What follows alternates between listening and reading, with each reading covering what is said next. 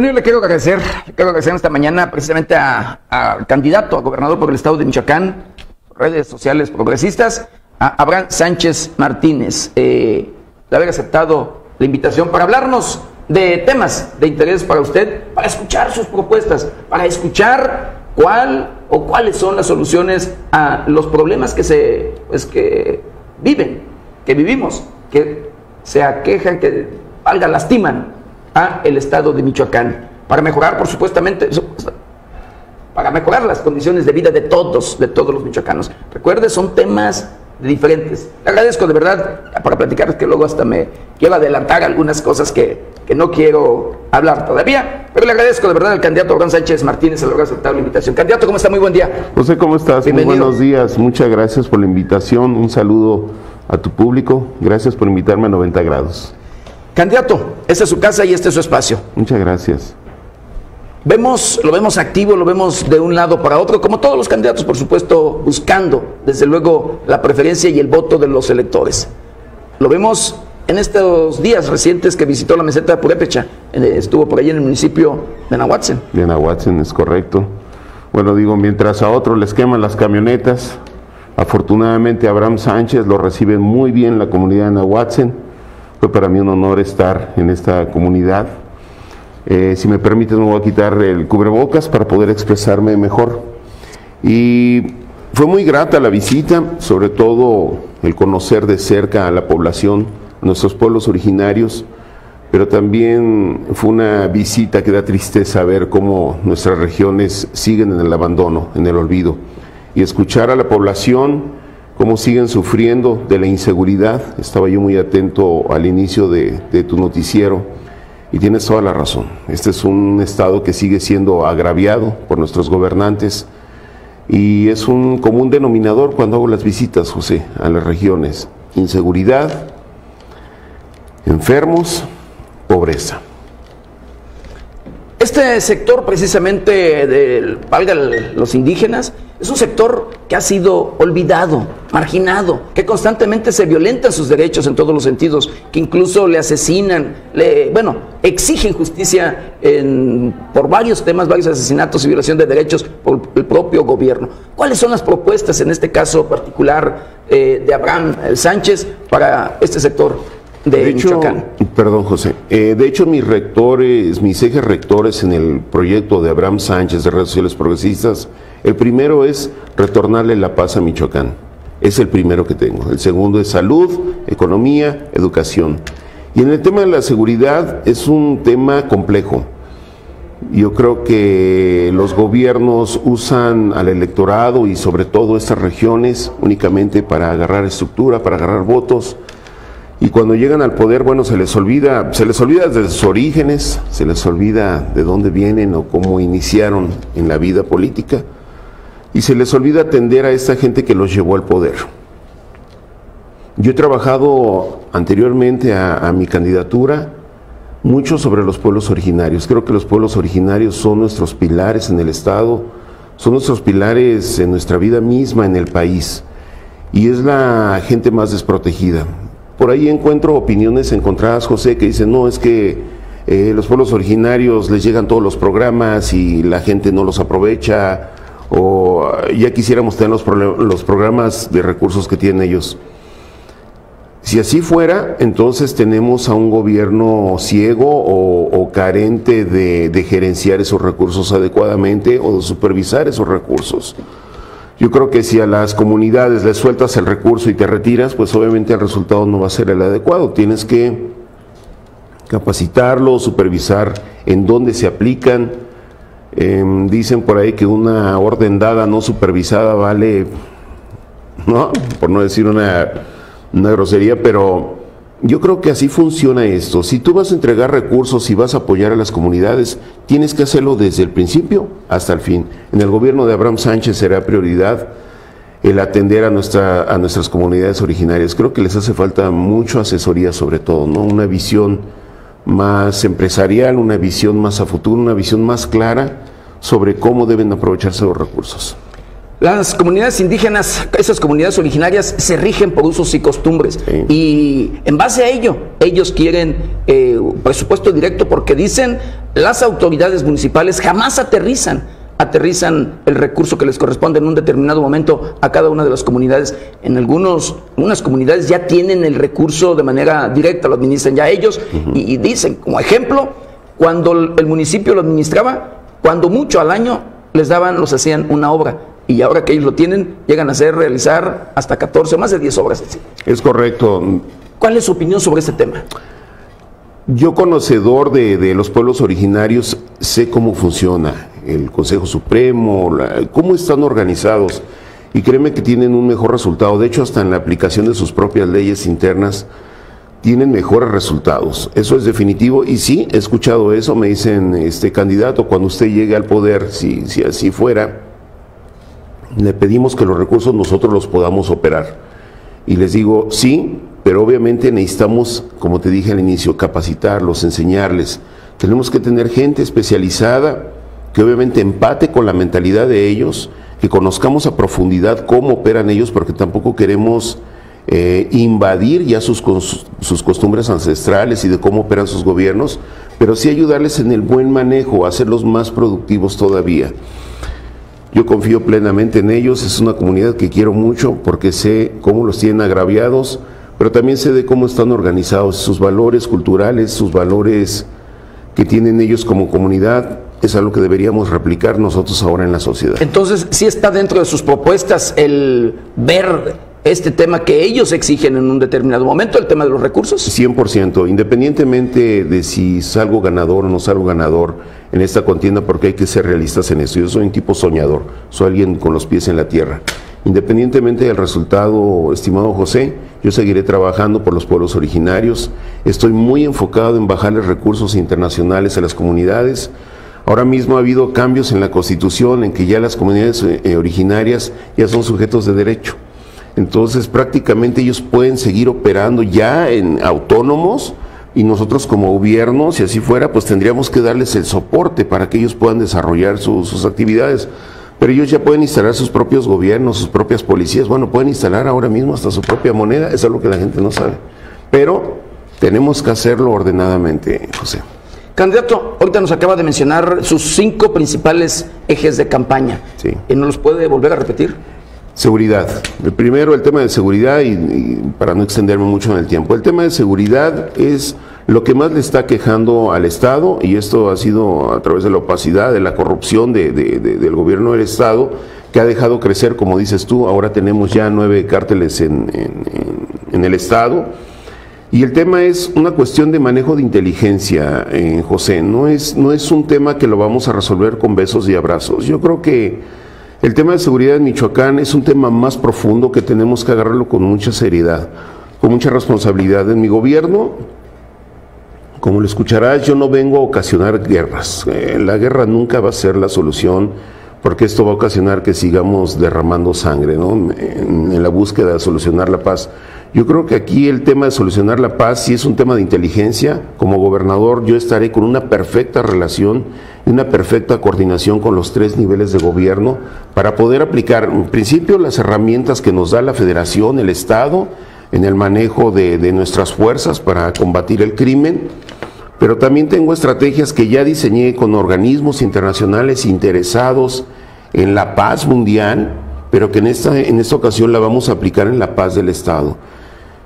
Pero a esto va algo muy así, este, José, como eslabonado. El tema de bajar eh, la, la violencia en Michoacán va de la mano con la economía. Tenemos que crecer la economía, tenemos que darle oportunidades a los jóvenes, a los padres, tenemos que darle oportunidades a muchos sectores para que dejen de estarse enfilando en esos sectores, en eso de, la delincuencia. Si nosotros no catapultamos el Estado a un Estado económicamente activo y que sea hasta una potencia, vamos a seguir con cárteles, porque es una actividad rentable para las gentes que no tienen oportunidades. Entonces, al final del día, hasta esas gentes que están integrando ahorita esas filas, seguro estoy que con el modelo económico que traigo, van a ver más rentable estar del lado blanco, del lado que deberían estar desde un inicio, y en algún momento yo tengo la confianza que dejarán de pertenecer a esas filas. Es imposible acabar con este cáncer, José, hay que ser realistas, es un tema que se lleva tiempo. ¿Es imposible, candidato?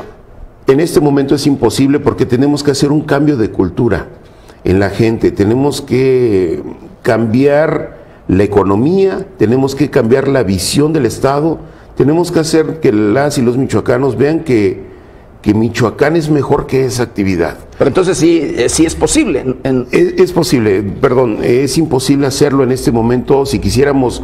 Es que muchas, yo he escuchado propuestas que vienen como si tuvieran una varita mágica, José. No es cierto, esto es un, algo que se proyecta, que se le da un timing, un, un periodo de tiempo para, llegar a esto y, es un proceso que tenemos que accionar. Aunque sí te voy a decir, en los primeros 100 días de gobierno daré un resultado contundente, muy importante, porque la población sí tiene que ver que Abraham Sánchez llega con mano firme, pero que llega con ideas muy claras de cómo lo vamos a resolver y las ideas y las resoluciones contundentes van a ser muy, muy claras.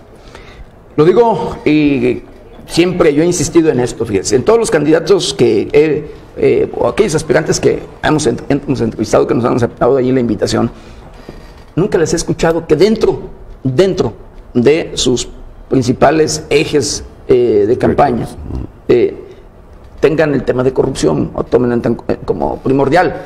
Desde mi muy personal punto de vista, lo digo, yo no sé, ustedes como políticos, como los actores, el primero que se tiene que combatir desde mi muy, repito, insisto, es la corrupción, porque de la mano va eh, de la corrupción la inseguridad. Yo coincido con usted, se necesitan fuentes de empleo, se necesita, por supuesto, reactivar la economía en todos los sentidos, sí. se necesita hacer mucho en ese sentido, va de la mano, pero si la corrupción no se combate, por supuesto que la inseguridad continuará de igual manera. Yo no sé si usted, si usted coincida o no conmigo, pero eh, si hay corrupción, los criminales van a tener por allí de aliados a las autoridades.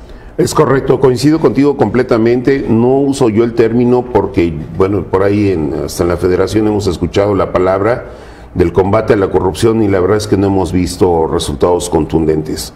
Yo soy un candidato que no voy a presumir de traer la varita mágica en solucionar. Yo creo que mis acciones se verán reflejadas de inmediato, pero el tema de la corrupción es un cáncer que lo tenemos a nivel nacional, ¿no? Y muchas veces hasta a nivel internacional eh, se integra a México esto, es algo que viene también de fuera. Hemos dejado entrar a la corrupción desde nuestras fronteras y ahora mismo se está operando en, en el país y en este caso en el Estado. Yo le llamaría un tema de depuración pero fíjate que en esa depuración, José, tampoco puedo dejar a esos michoacanos sin trabajo, porque entonces se van a infilar a donde no queremos que, que se formen, ¿no?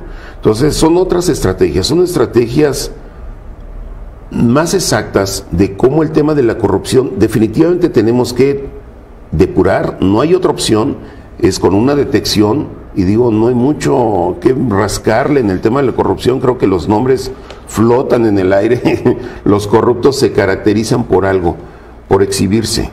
Eh, difícilmente los encuentras este, escondidos, están a la vista, nosotros sabemos nombre, la corrupción tiene nombre, la corrupción tiene nombres. Y por supuesto que, vamos a dar resultados, como lo dije ahorita, contundentes. No creas que es algo de que me voy a hacer de la vista gorda o no voy a tomar acciones sobre los agravios que se han estado viviendo eh, sobre los agravios que vive la población, si Abraham Sánchez llega al gobierno, van a haber resultados muy, muy fuertes. No quiero presumir de esto, pero si voy a estar frente al gobierno, no puedo dejar... O sea, usted sí combatirá a los grupos criminales. A los grupos criminales, a la gente que está dañando al pueblo y que lo ha dañado al pueblo, tendremos resultados contundentes respecto a eso. Yo no, no le temblará en lo absoluto. No, no, no, para nada. Yo soy, mira, antes que nada, José, quiero decirte, yo nunca he estado en la política, yo soy un empresario, soy un michoacano, que he vivido el agravio, que he tenido que emigrar de mi propio estado debido a la inseguridad, debido a la corrupción, debido a la falta de oportunidades como empresario. Entonces, ahora que he salido al mundo, que visto las, las sociedades organizadas, también vi de gobiernos de mano dura que no hacen guerra, te lo repito, este no es un tema de garrotazo, este es un tema más de inteligencia. Pero yo creo que si vas a ser gobernante, primero tienes que ser imparcial y sí tienes que tener mano firme. Si no tienes mano firme en las decisiones como gobernador, dedícate a otra cosa. No puedes estar siendo suavecito con tu compadre, con que este, este, bueno, estuvo conmigo en la campaña. No, o sea, la riegas, la vas a pagar. Candidato. La regaste, la vas a pagar. ¿Usted tiene las manos limpias? ¿Se siente con la conciencia tranquila? Por supuesto que sí. Tengo las manos limpias. ¿La riqueza que tiene acumulada es de manera lícita? Es producto de mi trabajo y digo, pueden checar eh, mi vida. Tú googleame, como decimos coloquialmente, y no... No hay antecedentes que, No. de los cuales se No, absoluto no, no, nada digo- en Abraham Sánchez. No tengo absolutamente ningún problema. Para empezar, no tengo enemigos, José. Esa es la, la- la mayor ventaja. en Usted, usted dice que en dos años, ha dicho que en dos años usted saldaría la deuda. ¿Cómo lo haría? Hay inversiones muy importantes que yo voy a traer a- al estado de Michoacán. Este es un modelo que hay que entenderlo muy Que es bien. un reto muy también no tan fácil. Es la- el, el saldar en dos años la deuda. Te voy a dar un modelo económico perfecto que nosotros tenemos diseñado y que tengo cuatro años haciendo alianzas internacionales y nacionales para inversión en Michoacán. La primera inversión que voy a traer a Michoacán es un tema siderúrgico, no como Lázaro Cárdenas que se queda con el 90% de nuestros yacimientos, ¿no? Eh, le vamos a retornar a, lo- a los michoacanos lo que es suyo, ¿no? Voy a traer dos inversiones por el orden de 2.400 millones de dólares. Esta es una inversión histórica, José. Si una inversión de 400 millones de dólares te trae una derrama económica tremenda, imagínate una inversión de 2.400 millones de dólares. Vamos a apostar por siderúrgicas, pero que van a producir acero especial, lo cual no producimos en México. Y tú dirás, bueno, ¿y eso en qué le beneficia, aparte de darle trabajo a la, población? Hay un, hay un modelo que se llama APP, que es, Sociedad Industria Privada con Gobierno. Pero en el modelo original que tenemos, nada más estaríamos hablando de un tema de impuestos que se van a la federación y después no lo retornan. No. Vamos a hacer algunos cambios a las leyes y por eso vamos a ocupar del Congreso. Y es muy rápido hacerlo, es algo viable.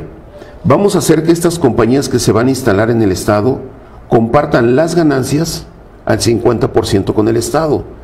Con eso entonces vas a capitalizar, es decir, esos, esos grandes capitales, porque son muy grandes los capitales, José, que van a entrar, van a entrar a las arcas del Estado. Y lo primero que tenemos que hacer pues, es empezar a reducir la deuda, y es posible en dos años hacerla. Te doy un ejemplo, una planta de estas produce 5 millones de toneladas anuales. Baratito, vale 3.500 dólares la tonelada, por la mitad. Entonces, con estas dos plantas, y se construyen en dos años las plantas, pero cuando nosotros ya estamos construyendo las plantas, tenemos la producción vendida de 10 años adelantado. Es decir, tenemos capital, tenemos flujo para nosotros inyectárselo al Estado, empezar a pagar la deuda, pero no nada más eso, empezar a meterle en infraestructura, carreteras, hospitales, escuelas. El modelo es viable, es probado, lo daré a conocer a la población para que lo puedan cons- consultar en mi página. Candidato, usted eh, de ganar, de favorecerlo el voto, eh, no se hará en un determinado momento, como luego se presume de muchos, de muchos políticos aliados del crimen organizado. Jamás, jamás. Eh, yo puedo ver a, a mis hijos de frente, con la frente en alto, puedo mirarlos a los ojos, y yo en mi discurso lo digo. No le están financiando campaña. No, no, de hecho, me da pena decirlo, pero ni el partido me está dando recurso. Esto es recurso propio. Créeme que no estamos haciendo campañas este, con derroche de, de- de Recursos, dinero. dinero. Por eso verás a Abraham Sánchez, que a lo mejor no lo ves en todas las partes, eh, contaminando ya hasta visualmente los espacios. Es mi propio recurso y nada más. Eh, no tengo a alguien más. Yo estoy eh, caminando con mi propio recurso, no es fácil. Por eso me voy mucho a redes, porque hacer estas campañas cuesta mucho dinero, José. Pero imagínate estar derrochando dinero viendo la pobreza extrema en la que está viviendo el Estado. Yo voy a Nahuatl, o sea, ¿cómo voy a ir yo con un gran derroche, un, un aparato de campaña enorme, miles de banderas o de gente? Y llegas y ves a Nahuatzen a la gente sin dinero, dices, pues no, o sea, es incongruente querer gobernar, decir, te voy a traer beneficio y estar tirando el dinero a manos llenas. No, no lo voy a hacer. Candidato, le agradezco, le agradezco de verdad. No sé si gracias. tiene algo más que agregar.